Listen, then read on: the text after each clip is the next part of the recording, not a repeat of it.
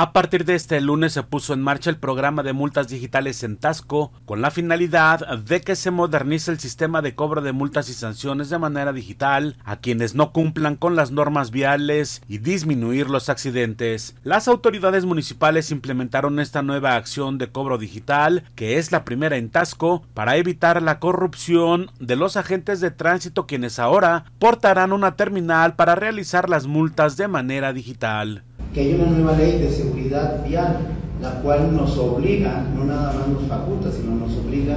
a brindarles una mayor seguridad. Entonces, a partir de, ahora, a partir de la publicación de esta ley, tenemos ese tipo de obligaciones. Por cuanto hace a tu pregunta, bueno, los agentes se ha estado hablando con ellos, se ha estado capacitando para que tengan mayor concientización de su actuar de ellos,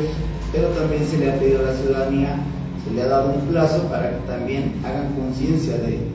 su actuar, ¿no? En rueda de prensa con la presencia de las autoridades municipales se destacó que con este programa se encadenan más proyectos viales y de movilidad para el reordenamiento vehicular en Tasco. RTG Noticias, Raimundo Ruiz.